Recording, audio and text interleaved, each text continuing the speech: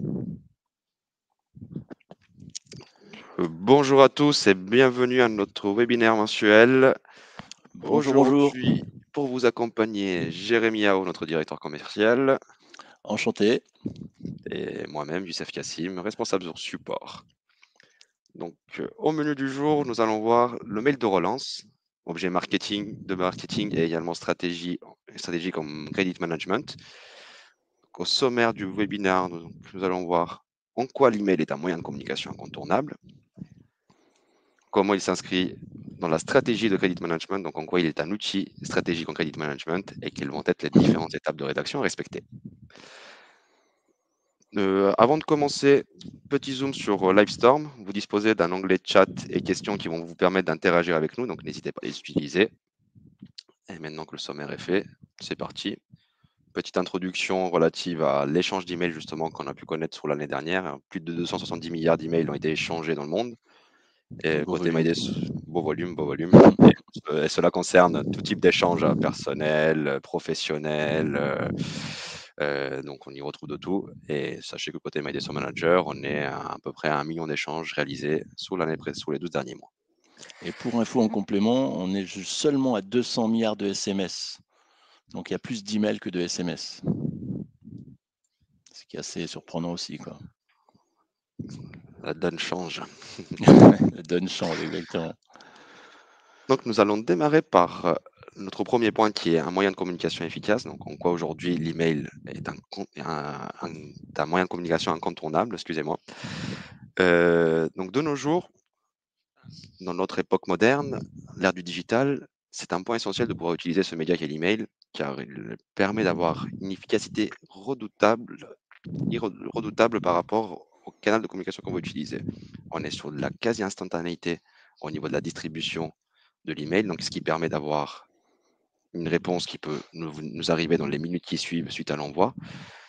Cela permet également de pouvoir faire euh, mettre en place des destinataires cibles. Par exemple, dans My Manager, on va pouvoir définir un contact pour le recouvrement. Et ce contact pour le recouvrement va être la personne qui va recevoir les emails automatiques, enfin, en tout cas qu'on aura prévu comme tel dans notre stratégie de relance, et ce qui va permettre du coup également d'avoir une ch- charge allégée de ce côté-là. Un autre des points forts de, de l'email va être le coût. Le coût à comparer d'un courrier euh, papier classique euh, est modique pour la partie email, euh, car on est à des centimes d'euros pour l'utilisation d'un email, peu importe le- la volumétrie qu'on va pouvoir, euh, pouvoir exploiter sur euh, ce canal de communication, Mm, mm. à contra- contrairement à, à un courrier qui va être euh, un minimum à 50 centimes, voire plusieurs euros pour des courriers recommandés. On va également avoir la possibilité de tracer l'ensemble des communications qui ont été réalisées grâce à l'email. Donc, au niveau d'un outil, reprenons notre outil MyDesktop Manager qui lui va historiser l'ensemble des actions envoyées, donc euh, qu'elles soient email, courrier ou également téléphonique. Aujourd'hui, on est concentré sur l'email. hein. Donc, on va avoir l'ensemble des informations qui vont être historisées dans l'outil. Et si vous ne disposez pas d'outil, bien sûr, vous allez pouvoir également avoir une partie qui sera historisée dans votre, dans votre outil de- de- d'email, Google, Office ou Thunderbird. Et donc, l'ensemble de ces actions historisées, cela vous permet une certaine traçabilité, donc savoir ce qui avait été réalisé en amont et comment, euh, et comment réagir à nouveau auprès du client.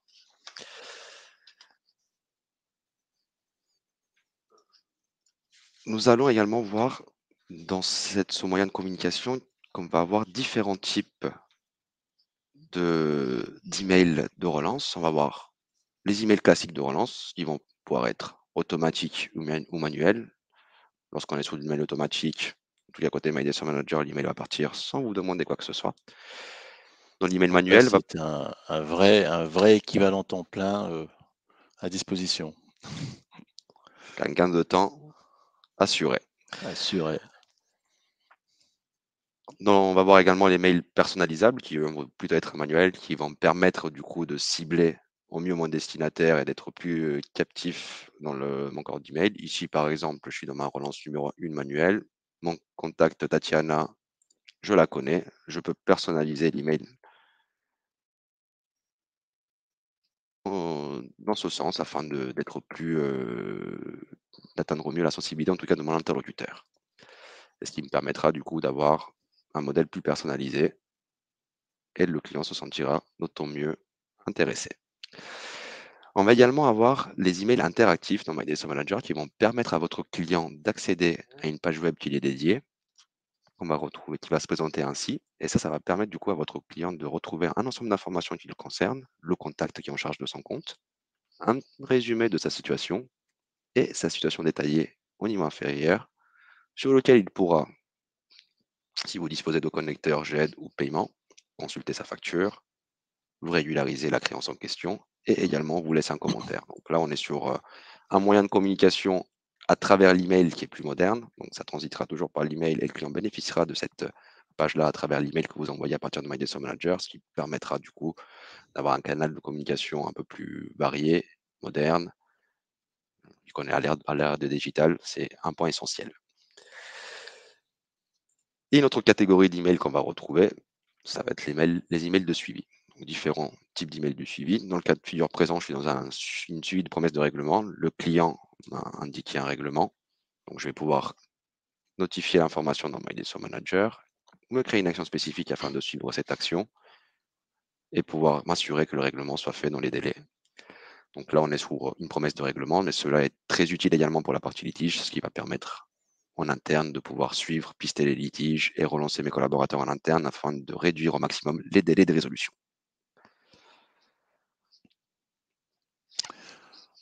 Parfait. Donc, euh, pour résumer, en quoi l'email est un moyen de communication incontournable, hein, déjà lié à notre époque, à notre ère du digital, le coût qui lui est modique à comparer de, des autres canaux de communication. Hein. La traçabilité, donc, ça me permet d'avoir, euh, de disposer de l'ensemble des historiques des actions qui ont été réalisées via ce canal-là, soit au travers d'un outil, soit au travers de nos messageries propres, et également efficace, euh, lié au fait de pouvoir avoir un envoi qui est quasi immédiat avec un retour qui peut lui être également réalisé dans les quelques minutes qui suivent. Et pour rappel, hein, dans quatre catégories d'emails qu'on a partagé, donc les emails automatiques, les emails manuels personnalisables, le mail interactif et le mail de suivi qui va vous permettre de pister l'ensemble des actions de suivi, promesses de règlement, litige ou d'autres actions nécessaires dans la gestion de mon recouvrement. Nous allons maintenant voir en quoi l'email est un outil stratégique en credit management.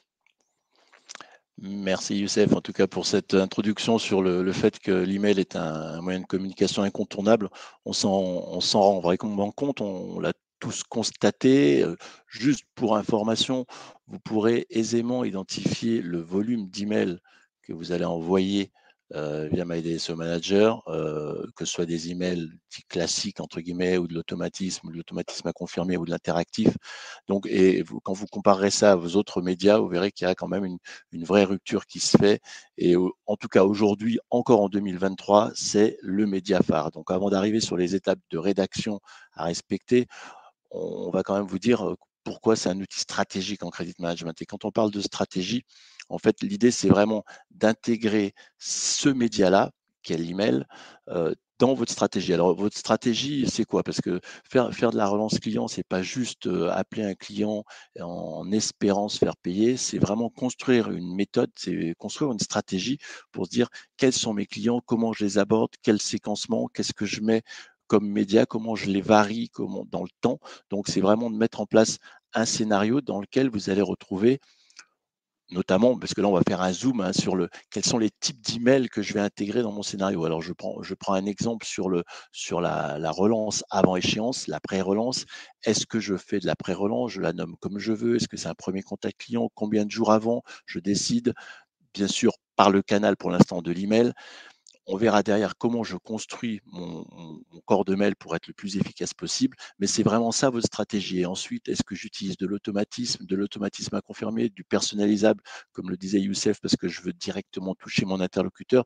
Donc tout ça, ça vous donne une matrice qui va correspondre à votre stratégie à cet instant T de votre relance pour euh, aller euh, ben, chasser entre guillemets le, cash ou sécuriser vos ventes ou euh, dialoguer avec votre client parce qu'on n'est pas uniquement dans une relation cash, ça peut être aussi de l'échange, de la satisfaction, du traitement de litige ou, autre. Donc ça, c'est vraiment euh, extrêmement important de penser que l'email s'inscrit dans une stratégie globale et qui peut se positionner dans le temps, le temps étant une notion incontournable en matière de cash. On parle de, on parle de balance âgée, on parle de date d'échéance, on parle d'évolution des retards, on parle de DSO, le nombre de jours de chiffre d'affaires dehors. Donc le temps est un, un des éléments clés dans, dans la stratégie pour le prendre en compte et savoir comment vous allez vous positionner dans ce temps-là. Et au final, eh ben, comme je disais juste avant, ça vous permettra de voir ce que vous avez réalisé et de, voir que finalement, à travers l'email, vous avez une force de frappe, un traitement de volume extrêmement, extrêmement important. Et donc, ça change drastiquement votre façon de travailler à partir du moment où vous avez les outils qui vous permettent de, d'orchestrer en fait cette, cette façon de travailler. Donc, bien sûr, parce que sinon, envoyer des emails, on en fait tous depuis Outlook, comme le disait Youssef. Mais j'écris mon email, je le tape à la main, même si c'est, c'est, plus sympa que d'écrire une lettre, ça prend quand même du temps. Là, l'idée, c'est de, d'optimiser un maximum. Donc voilà pour les deux premiers points. Je vais, Youssef, je vais te laisser continuer un peu sur, le, sur la stratégie. Et juste pour appuyer le point précédent de Jérémy, euh, on va définir notre stratégie de relance. Cette stratégie de relance va récupérer l'ensemble des contenus qu'on aura définis. Et là, le gain de, gain de, temps va être réellement présent parce que ça va vraiment nous permettre de pouvoir euh, avoir un mail déjà tout prêt, personnalisé si nécessaire. Et dans le cas contraire, on va envoyer directement dans la foulée. Euh, les autres points positifs et pourquoi le mail s'inscrit dans, dans une démarche stratégique en credit management, c'est que ça va me permettre également d'identifier les diverses typologies de clients. Donc, on va avoir, par rapport au retour des clients, les divers, euh, on va pouvoir identifier quels vont être les clients qui sont bons payeurs, par rapport au fait qu'ils nous confirment leur règlement et qui confirment la réception de l'email, de ceux qui vont être un peu réticents à nous apporter des réponses, qui, nécessitent une ou plusieurs actions afin de pouvoir, euh, pouvoir être, euh, avoir, obtenir un retour, ou des clients dont les retours sont plus ou moins flous, excusez-moi. Et via ces retours clients, donc, je vais pouvoir identifier et apporter l'information dans My Manager grâce à la qualification des pièces. on va définir, on va avoir différents statuts dans My Manager qui sont figés dans le marbre. Mais par contre, on va avoir un ensemble de statuts qui sont personnalisables et qui sont relatifs à votre structure. Vous pourrez personnaliser assez aisément au niveau de la partie paramétrage et qui vont permettre du coup d'avoir une information sur, le, ce qui se passe au niveau de la créance, connaître le motif de non-règlement. Et pour les cas les plus difficiles, je pourrais également adapter mon scénario de relance afin d'avoir un scénario qui soit le plus adapté possible. Euh, je vais également avoir la possibilité d'avoir des destinataires multiples à mes emails. Euh, donc tout à l'heure, on a vu le fait de pouvoir identifier un minima un contact pour le recouvrement en dur, afin que ce soit lui le destinataire principal de mes communications, mais je peux également avoir un second contact qui peut être le, hiérarchique du comptable du client afin d'avoir plus d'impact. Euh, le point essentiel est d'avoir un minima, un bon contact, un bon interlocuteur euh, qui soit viable et non pas d'arroser tout le monde, euh, sans quoi l'email n'a plus son efficacité. On perd de l'efficacité à ce niveau-là. Et dernier point, c'est le traitement des volumes, comme l'a dit Jérémy. Et là, grâce à l'automatisation, on va pouvoir effectivement gagner du temps, de l'efficacité et pouvoir traiter des emails, par exemple, de pré-relance qui vont nous permettre de partager la situation avec les clients tout, en, tout en réalisant aucune tâche de notre côté. Exactement. Pour résumer euh, en quoi l'email est un outil stratégie en credit management, donc il faut intégrer effectivement ce type de médias dans notre stratégie de relance euh, prévue. Donc, pour rappel, dans My Manager, on va pouvoir créer différents scénarios et le but est d'avoir un scénario par typologie de client pour que vous puissiez avoir des situations qui s'adaptent de manière constante à votre typologie, mais également à votre structure grâce à l'automatisation et uniquement via l'email manuel qui peut être réalisé, vous avez déjà une matrice qui est prête et il vous suffit en quelques clics d'envoyer l'email. Grâce au retour, on a la possibilité d'identifier les diverses typologies de clients et d'adapter justement ma stratégie de relance, mon scénario par rapport au retour que j'aurai de ces clients. Les clients difficiles vont avoir un scénario qui sera plus adapté avec des actions peut-être plus rapprochées, des, euh, actions plus fréquentes, plus anticipées par rapport à la date d'échéance, qui permettra d'avoir euh, une meilleure efficacité dans le cash, dans l'encaissement du cash. L'automatisation des actions, bien sûr, qui va me permettre de me dégager du temps et d'avoir euh, et de pouvoir me focaliser sur les dossiers difficiles. Et le fait de pouvoir utiliser des destinataires multiples qui va me permettre de pouvoir atteindre également mmh, des personnes qui sont probablement censées me répondre au sein de la structure du client. Donc, ces points mmh, résumés, nous allons maintenant voir les étapes de rédaction à respecter afin que notre email soit le plus clair, le plus concis possible et qu'il ait le plus d'impact. Merci Youssef. Donc on arrive sur la, troisième partie, en fait celle, celle pas forcément que vous attendez tous, hein, mais c'est quand même un, élément important parce que là on a parlé globalement de euh, ce qu'est l'email, ce moyen incontournable, son, sa force de frappe, les différentes typologies d'email, mais finalement c'est comment comment je fais pour le rédiger c'est quoi le secret entre guillemets pour faire en sorte que mon email devienne ce fameux objet de marketing et que je puisse euh, ben, assurer une collecte de cash et une relation client euh, au top? En fait il y a, trois questions qu'on peut se poser. Euh, il faut savoir comment l'écrire d'une part. Quand l'écrire et à qui à qui envoyer le message finalement. va répondre à ces trois questions, c'est avoir compris que le mail c'est qu'un moyen d'aller vers le résultat attendu. ce n'est pas une finalité. Écrire des emails, envoyer des emails pour envoyer des emails, ça ne sert à rien. Donc l'objectif, c'est juste se dire qu'est-ce que je veux atteindre comme objectif. Donc, votre email, c'est aussi un vecteur qui véhicule votre image et qui doit vous permettre d'atteindre cet objectif qui est soit d'avoir une réponse de votre client, soit d'avoir un paiement, pour faire simple. Donc, je, vous montre ici maintenant un peu les techniques. On va rentrer un petit peu plus dans le détail. Euh, donc, je, vais repartir sur... Euh, alors, ce qu'on vous présente ici, c'est uniquement à des fins pédagogiques. Hein. C'est bien sûr, on ne vous parle pas des meilleurs messages du monde. C'est chacun finalement à un moment donné va s'approprier et, penser sa propre, sa propre communication, mais il y a quand même des, des, des fondamentaux. En fait, le premier élément, c'est de dire qui est, l'expéditeur. On a euh, quelques clients euh, qui, qui, nous disent, nous, on préfère utiliser les boîtes génériques.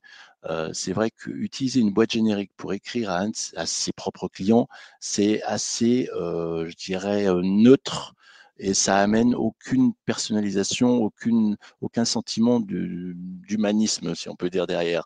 Donc euh, c'est vrai qu'on parle de, l'ère du digital, etc. Mais à un moment donné, c'est quand même qui me parle et à qui je m'adresse. Vous l'avez sûrement tous vécu quand on vous demande d'appeler une boîte générique pour, pour vous faire payer quoi que ce soit ou même avoir des éléments de réponse. On a l'impression qui va me répondre. Donc l'idée, c'est d'avoir quand même un, expéditeur qui soit plutôt identifié, une, vraie personne, si on peut dire voilà, simplement une vraie personne. Donc ensuite, on arrive dans première partie de l'email, c'est euh, le sujet, l'objet du mail. Donc, euh, c'est la deuxième information après l'expéditeur dont prend connaissance votre destinataire. Donc, l'objet de mail, c'est ce qui va inciter le destinataire à ouvrir votre message et à s'intéresser au contenu. Donc, plus l'objet est pertinent, plus le taux d'ouverture augmente. Donc, juste ce petit espace-là va vraiment être un vecteur important de réussite. Donc, quelques fondamentaux. Il faut utiliser des mots-clés. C'est un basique, mais vous verrez qu'on l'oublie souvent. Il faut mettre en avant l'essentiel de ce que vous voulez transporter comme message. Il faut susciter la curiosité à travers l'objet. Il faut bien sûr, du coup, éviter le roman fleuve, c'est-à-dire écrire finalement toute une phrase qui commencerait quelque part le corps du mail à travers votre objet. Et puis, il y a aussi un élément extrêmement important en matière de pilotage du cash, parce que là, on zoome vraiment sur la partie credit management, c'est d'éviter des mots de type urgent, euh, troisième relance, impayé, euh, tous ces mots qui sont déjà une agression, je dirais, à travers l'objet, qui n'apportent rien et qui vont même inconsciemment amener votre destinataire à se positionner un petit peu sur la défensive ou sur l'énervement. Donc l'objet est extrêmement important. C'est donc le, il faut le penser comme un, comme une campagne d'emailing. Le, produit que vous vendez, en fait, c'est le déclenchement de l'envie de payer ou de vous répondre de votre client. C'est ça, en fait. Vous êtes, vous êtes vraiment un marketeur à travers déjà l'objet de l'email. Donc, on arrive maintenant euh, au corps de l'email, ou je dirais le, texte, le wording. Euh, donc, c'est euh, souvenez-vous de, vos cours de français en rédaction, il faut structurer votre texte. Donc, il faut, quelque part qu'il y ait une, une introduction, euh, qui est que ce soit aéré, euh, ne pas faire de longues phrases compliquées. Il faut toujours penser simplification. Il faut, il faut donner de l'espace.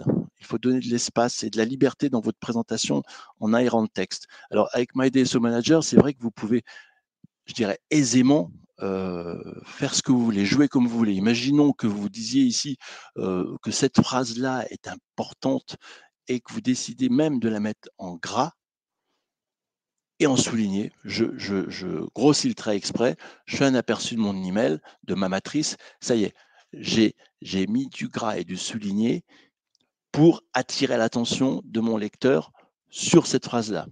Donc ça, euh, c'est tout bête, mais c'est extrêmement important d'utiliser finalement tout ce qui est à votre disposition pour jouer avec le look de votre, mail.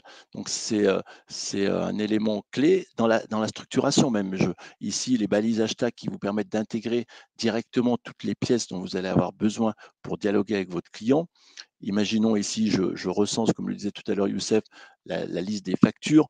Si derrière vous avez branché des connecteurs, et ça c'est extrêmement important parce que finalement ça fait aussi partie du look, comment vous allez enrichir votre email, comment vous allez en faire ce vecteur de communication qui, devient presque pour votre client un service que vous lui apportez. C'est-à-dire que vous allez au-delà de la simple relance, mais finalement, je suis la société Tartampion, j'écris à mon client et en lui écrivant, je lui permets par exemple d'avoir tous ses duplicata en ligne.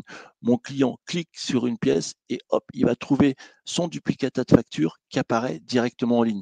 Donc, quelque part, vous, le, vous lui facilitez la tâche, vous lui apportez un service tout en lui demandant finalement de payer. Donc, c'est un peu une, une, magie de la communication qui fait que vous êtes à la fois celui qui, qui drive, le fournisseur qui drive son client, mais qui en même temps préserve une relation en lui apportant à travers l'email la possibilité d'avoir des éléments qu'il n'a pas ailleurs avec d'autres fournisseurs et, inversement, y compris des solutions de paiement, etc. Donc en gros, je, structure vraiment mon, corps de mail pour faire en sorte que ce dont je veux parler ben, soit le plus pertinent possible. On parlait tout à l'heure d'email interactif. C'est vrai qu'aujourd'hui, euh, la notion d'email, euh, tout le monde l'utilise, hein, même à des, fins personnelles, on a tous une boîte mail. Et l'idée de transformer un email comme un objet interactif d'échange avec vos clients externes, mais y compris avec vos, vos, clients internes, parce que finalement, dans une entreprise, on a, on a ses propres clients qui peuvent être des, des acteurs internes. Je pense euh, par rapport à la finance, le commerce, on a besoin du commerce pour relancer un client, pour nous aider, pour résoudre un litige avec la DV, avec la logistique pour avoir des délais. Donc, pouvoir dialoguer en interactif en interne, c'est aussi quelque chose d'important. Et l'email, c'est pas uniquement un, un objet de relance, c'est un objet de communication pour avoir des éléments de réponse. La finalité reste toujours la même. Hein. Soit j'ai des éléments de réponse, soit j'ai un paiement. Mais même si j'écris un email à un collègue pour lui demander quelque chose, j'attends une réponse. Je ne veux pas juste lui écrire pour lui écrire. Donc, la notion d'interactif, c'est, Youssef l'a montré tout à l'heure, ici, je, j'écris à mon client et je lui permets de consulter son état de compte en ligne. Donc, je rajoute cette balise et derrière, le client clique et là, il se retrouve avec une page web dans laquelle il va retrouver tout son état de compte, ses retards, ses encours, le nombre de factures, qui le suit en détail, éventuellement vous intégrez une notion d'IBAN et de BIC. Donc à travers l'email, finalement, vous, vous ouvrez une infinité de possibilités de faire en sorte que le client ait envie, soit de vous répondre, parce qu'il le peut, il peut directement vous répondre en ligne, vous dire bah, tiens, et vous envoyer un commentaire que vous allez recevoir et qui viendra se mettre sur vos pièces directement en ligne. Donc, ce qui fait que vous, en plus, vous gagnez un temps phénoménal. Vous gagnez une traçabilité. Youssef en a parlé sur l'historique. Vous gagnez de la crédibilité parce que les commentaires propres du client, il pourra retrouver son propre wording. Donc, parfait, je déclenche ce jour, il vous a dit ça le 14 avril et il réactualise sa page, on est le 18 avril et c'est toujours pas payé. Il peut se poser des questions, est-ce que je tiens pas mes engagements? Donc, quelque part, vous amenez, vous amenez aussi à travers l'email une, une éducation aussi de vos clients plus vous les structurez de façon efficace, plus vous les pensez de façon intelligente, plus vous aurez vraiment une, des résultats performants. Donc, ça va jusqu'au tout petit détail de venir enclencher votre signature, de rajouter votre logo, de, tout bien penser, chaque mot aussi, euh, aux dates, c'est aussi important. Vous pouvez aussi mettre de, la couleur. Euh, j'exagère, hein, mais c'est extrêmement important de, tout penser comme du marketing. Donc là, vraiment, en construisant votre matrice dans MyDSO Manager, vous construisez votre réussite d'après. Donc ça vous demande un peu de temps et le plus difficile, c'est pas pas de, de faire, c'est plutôt de savoir qu'est-ce que je veux faire. Donc ça, c'est vraiment important. Donc c'était vrai pour le corps du mail. Mais donc ça, c'est le message. Mais après, c'est comment comment je conclus Parce que finalement, il reste une étape, c'est la conclusion du message la conclusion du message, c'est comment je, termine mon email? Est-ce que je termine par cordialement, sincère salutation, bien cordialement si, nous gardons à l'esprit en fait que l'objectif de votre mail de relance, c'est d'avoir une réponse ou de déclencher un paiement, alors il est vraiment impératif que votre destinataire soit amené à agir. Donc il faut finalement que vous l'ameniez à vous, à vous répondre. Donc vous devez clairement demander une action qui peut se traduire sous différentes formes en fonction de votre objectif. C'est soit vous demandez une confirmation dans le cas d'une promesse. Vous pouvez aussi demander une réponse dans le cas d'un litige identifié. Vous pouvez demander un paiement dans le cas d'une relance simple. Donc, et la notion de délai et de date doit être introduite pour amener votre interlocuteur à avoir un engagement qui soit meilleur. Donc, c'est vraiment, c'est vraiment la stratégie aussi à travers les mots que vous, vous allez utiliser pour amener l'autre à se positionner, à s'engager et à se mettre en situation de, de, vous répondre et surtout de tenir ses engagements parce que finalement la réponse, même si la réponse c'est un des objectifs, si le client vous dit ne vous inquiétez pas, je vais vous régler, bon, c'est une réponse, très bien, mais quand, comment, pourquoi il y a eu du retard, même dans l'absolu, est-ce que ça va se reproduire? Donc tout ça, ce sont des étapes aussi à bien comprendre et à faire en sorte que la prochaine fois, puisque vous avez l'historique, vous pourrez éventuellement rappeler à votre client qui vous avait fait une promesse qu'il n'avait pas tenue, que euh, ça serait bien qu'il vous informe d'un litige en amont plutôt qu'il vous dise euh, au moment du paiement, désolé, j'attendais un avoir de 10% comme ça a été vu avec votre commercial, puisque vous le relancez en avant échéance qui vous informe à ce moment-là, ou qui vous informe spontanément s'il n'est pas en, ligne avec les éléments que vous avez facturés. Donc finalement, tout ça, c'est la stratégie que vous allez retrouver, donc je, répète, dans la façon dont vous allez euh, aborder votre, euh, votre mail et le construire sereinement. Donc c'est un peu de boulot, c'est un peu de boulot, mais c'est vraiment euh, tellement gratifiant derrière. Dernier élément, bien sûr, c'est de vous dire, est-ce que je veux que My DSO Manager, finalement, une fois que je lui ai injecté ma stratégie, ma façon de penser, donc c'est de l'intelligence artificielle assistée de l'humain, finalement, puisque c'est vous, c'est vous qui êtes l'intelligence, et vous lui communiquez ce dont vous avez envie, et ce que vous avez en tête. Par contre, après, derrière, vous avez le gardien du temple qui exécute, qui peut faire à votre place, qui va vous conseiller, qui va vous rappeler, qui va vous, vous challenger même à travers, là on rentre pas trop dans le détail, on est sur l'email, mais à travers des alertes, à travers votre agenda, votre feuille de route. Donc vous lui demandez de travailler tout seul, vous lui demandez éventuellement d'avoir juste une confirmation à faire. Je le montre en deux secondes et après je te rends la main, Youssef, sur le, si je vais dans les relances automatiques, je peux demander à, à MyDSO Manager d'avoir tout préparé. Alors je vais regarder, voilà, il a tout préparé, c'est-à-dire que l'email, le fameux email est prêt avec le wording que j'ai choisi, les mots, mais il a tout préparé et j'ai plus qu'à confirmer. Si je veux, donc je garde la notion de go no go Et si, ici, j'ai mes, euh, et pas bonobo, hein, attention, c'est go, no go. Hein. si, si, je sélectionne mes 25 emails et que je les confirme, bon, ils partiront tous. Mais si je fais ça, autant que je passe par du full automatique. Non, l'idée, c'est de dire, je regarde un petit peu où j'en suis, puis ah bah, il s'avère que, tiens, le premier, quand même, la CCGPF, je hein, je suis pas très sûr. Et là, je peux décrocher sur ma fiche, etc., retourner, comme l'a montré Youssef, avoir l'historique de ce que j'ai déjà envoyé, potentiellement aller regarder les rapports indicateurs du client pour savoir comment il se positionne. Donc, j'ai toute cette traçabilité qui s'inscrit aussi dans ma démarche pour euh, finalement affiner ma stratégie et faire en sorte que derrière, quand j'écrirai à mon client, eh ben, je serai encore plus, euh, encore plus incisif.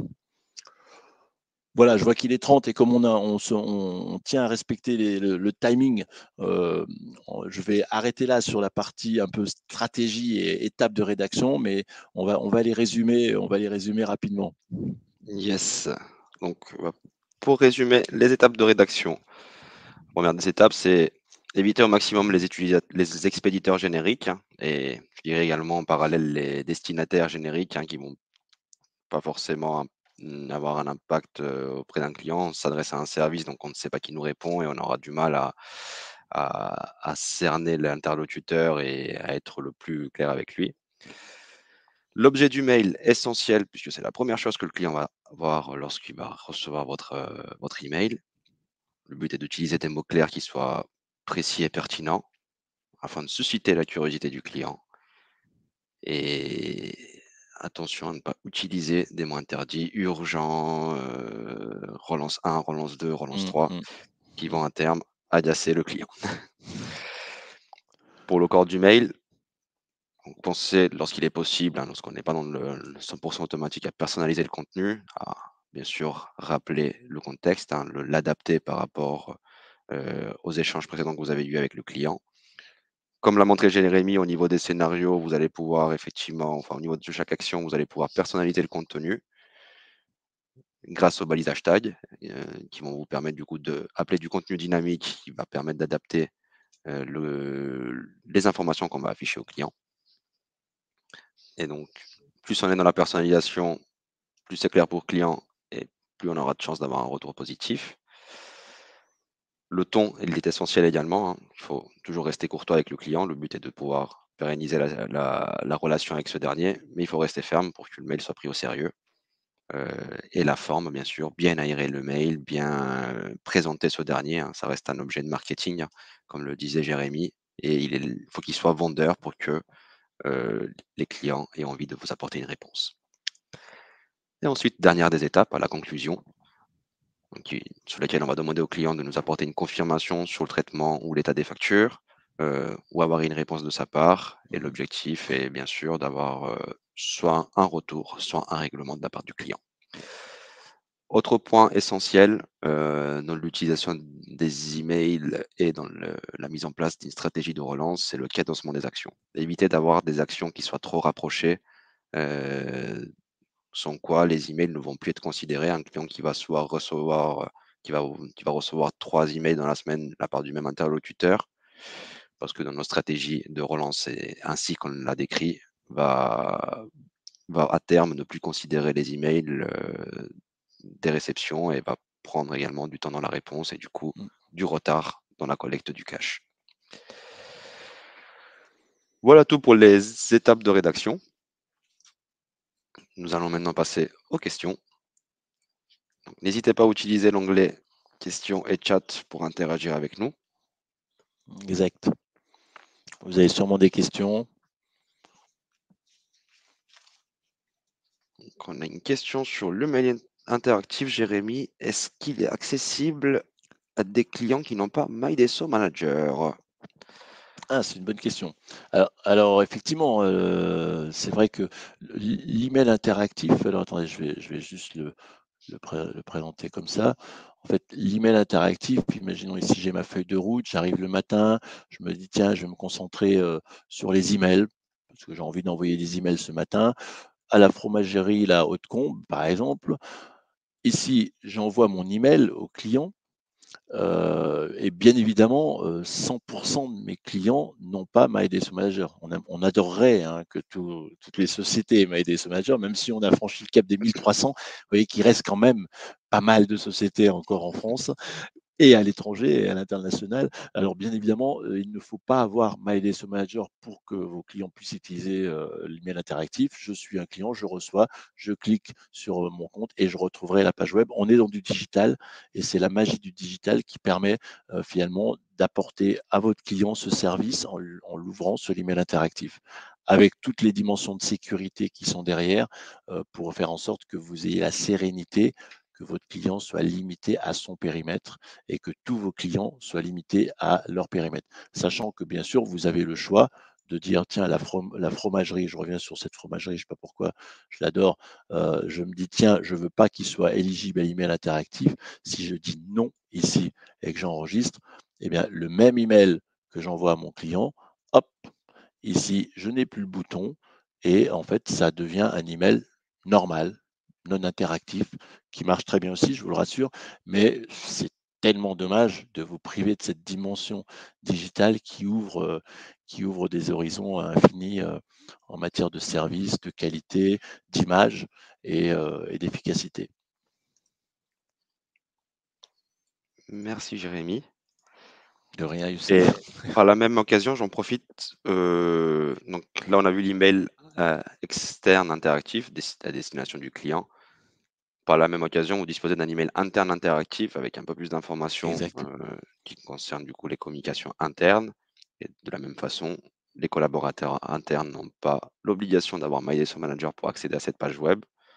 Le but après de MyDSO Manager est de mettre en place un outil qui soit un outil de partage des informations et les accès sont en le nombre d'utilisateurs euh, accessibles à MyDSO Manager est illimité, donc euh, n'hésitez pas si vous disposez déjà de l'outil, à intégrer l'ensemble de, vos collaborateurs afin qu'ils puissent euh, participer à l'effort de cache.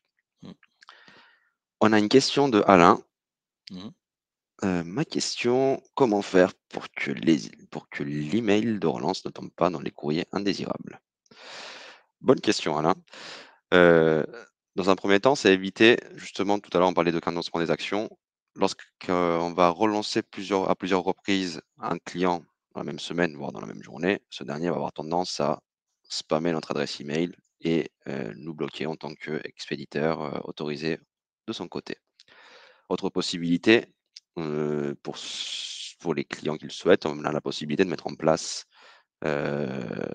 la transition des emails, faire en sorte que les emails transitent par votre SMTP, ce qui va permettre du coup d'avoir en face un client qui connaît l'adresse email d'envoi et du coup va accepter ces emails euh, donc, au lieu d'utiliser le domaine de MyDSO Manager, le domaine mail de MyDSO Manager, on va utiliser votre propre domaine email, ce qui va déjà débloquer cette étape-là. Et après, pour les cas où les clients, euh, malgré le fait d'utiliser votre SMTP, vous, vous, tombez toujours dans les emails, euh, dans les spams du client, c'est le faire accepter en face que vous êtes n'êtes pas un spam, mais bel et bien l'interlocuteur attendu et d'accepter au niveau des règles de messagerie l'email en question. Exact, exact. Est-ce qu'il y a encore une, ou deux questions? Il nous reste euh, quelques, petites minutes. Une dernière question relative au modèle. Est-ce ah oui. peut-on appliquer une langue autre que français dans les modèles? Oui, oui, oui, oui, tout à fait. Nous pouvons appliquer, en fait, alors, MyDSO Manager, je vais, je vais revenir sur, euh, sur MyDSO Manager est donc euh, multilangue, bien sûr. Enfin, bien sûr, c'est pas, c'est pas donné. On peut, à, tous les logiciels, on peut être euh, dans toutes ces langues, je dirais en standard, du chinois simplifié au, au français compliqué. en passant par l'espagnol, l'allemand, etc. Et vous pouvez effectivement dans vos, dans vos emails complètement vous mettre en situation de dire je vais changer euh, la, la, ligne courante de mes emails. Donc, en fait, dans votre stratégie, vous dites, en fait, moi, j'ai une population de clients euh, qui est de tel pays et j'ai besoin de venir changer la langue d'en-tête. Donc, vous sélectionnerez votre langue pour avoir une langue d'en-tête qui va être euh, celle du, pays de votre client pour qu'en réception, il ait tous les éléments et toute la lecture qui se fasse euh, simplement. Donc, vous pouvez complètement jouer là-dessus, puisqu'on est multilangue, multi-devise, multi-entité. Vous avez cette capacité à driver et à piloter vos clients selon vos typologies aussi, et c'est ce que disait Youssef tout à l'heure, on parlait de typologie de clients, ça peut être euh, carrément une typologie euh, linguistique, hein. c'est-à-dire finalement je veux isoler, détourer mes clients euh, allemands, mes clients italiens, mes clients espagnols dans des groupes et leur, affecter des scénarios de relance qui, qui comporteront en fait des emails dans leur langue. Parfait. Et pour rappel, donc là, ça va modifier la langue des éléments dynamiques qui sont appelés par les balisages tags. Le contenu, lui, par contre, euh, doit être traduit euh, oui. par vous. On va vous proposer des modèles euh, dans diverses langues, français, anglais, italien, espagnol. S'il y a des langues un peu plus exotiques à mettre en place, nous vous laissons le soin de le faire, en tout cas au niveau du contenu. Exactement. Une autre question de la part de Alain relatif au NPAI. Euh, donc, comment Medesso Manager traite les NPAI Retour d'email non existant, par exemple, le contact a quitté l'entreprise. De la même manière que lorsque vous allez envoyer un email euh, classique à un client que l'adresse n'est plus, euh, atteignable, vous allez recevoir un, message de non-distribution. Eh ben, dans ce cas de figure, vous allez également recevoir un message de non-distribution. Et par la suite, MyDSO Manager va également vous l'affichez au niveau de l'outil, là, en vous indiquant que l'email en question n'est pas valide car nous avons eu un retour de non-distribution. Et cette information est bien sûr euh, exportable pour que vous puissiez retraiter l'ensemble des contacts sous lesquels j'ai une erreur. Mmh. C'est vrai que c'est important hein, parce qu'on a finalement euh, on parle d'email, mais c'est vrai que la notion de contact, est, est, clé. Finalement, c'est mon destinataire à, qui je vais écrire. Donc, dans MyDSO Manager, vous aurez bien sûr un contact pour recouvrement, mais vous pouvez avoir autant de contacts que vous le souhaitez. L'idée, c'est surtout pas d'avoir une volumétrie de contacts par client qui vous servent à rien. Par contre, c'est d'avoir vraiment les bons contacts le contact pour recouvrement, peut-être des chargés d'affaires, en fonction de la structure de la société, des fois peut-être même un dirigeant parce que vous pouvez escalader. donc c'est vraiment d'avoir votre panoplie de contacts pour être en mesure de vous adresser à celui qui, est, qui, va, qui va bien en fonction de, vos, de votre attente. Donc ça, c'est aussi un des éléments forts, c'est d'avoir une base contact qui soit la plus saine possible et surtout la plus à jour possible. Exactement. Il n'y a, rien de plus terrible que d'écrire à quelqu'un qui n'est plus dans la société, ou exactement comme le disait Alain, qui, a quitté, ou c'est pas une bonne adresse. donc ça, avec MyDSO Manager, comme l'a montré Youssef, il y a pas mal de possibilités. Je, vous montre en, je vais juste partager un dernier petit pour vous montrer un petit élément. Ici, vous pourrez, euh, dans l'onglet, euh, attendez, il faut que je partage mon écran. Hop. Vous pourrez dans l'onglet client éventuellement retrouver tous les tous vos clients qui n'ont pas de contact pour le recouvrement. Donc, si vous sélectionnez non, vous retrouverez ici la liste. Alors, je ne sais pas si on en a dans la base de démo. Alors, on a sept clients qui n'ont pas de contact pour recouvrement. Si je prends DLM, CPTE, tac, bon ben voilà, ça me dit j'ai carrément même une erreur sur mon adresse mail. Donc là, j'ai un vrai souci avec ce client et je peux le traiter. Je peux retrouver tous les clients qui n'ont pas d'email euh, pour relancer. Donc je vais, les, je vais les filtrer aussi. Donc ça vous donne une possibilité vraiment de, de venir traquer en fait votre base client de façon extrêmement simple pour optimiser sa performance en matière de qualité des, des data, qui est, ce qui est clé. Surtout ah, quand on parle d'email, parce qu'encore un téléphone, bon, il faut, faut, espérer que le numéro de téléphone soit bon, mais avec le, le, le, média du téléphone, le gros avantage qu'il a, c'est que vous êtes vraiment là en, en interactivité totale, c'est-à-dire que vous pouvez rebondir en discutant avec quelqu'un, ben, écoutez, passez-moi cette personne-là, très bien, etc. Je vais noter ses coordonnées. L'email, même aussi puissant soit-il, quand vous avez fait Go, c'est la réponse ou le paiement qui va vous, qui va vous orienter. Sinon, si vous avez créé une personne qui, qui, est, qui est toujours dans la société, mais qui ne vous répond pas, euh, ben, vous avez envoyé un email. Et là, vous pourrez juste constater, euh, tiens, j'ai envoyé tant d'emails, mais quelle est ma performance au final? Et si je regarde, j'ai fait un joli petit paquet d'emails que je peux mettre en montant, en nombre, etc. Mais le seul élément qui vous intéressera à un moment donné, c'est de vous dire quelle est l'évolution de mes retards. Est-ce que je suis à tendance baissière, haussière, sur quelle période? Et quels sont les clients en dessous qui constituent ma performance?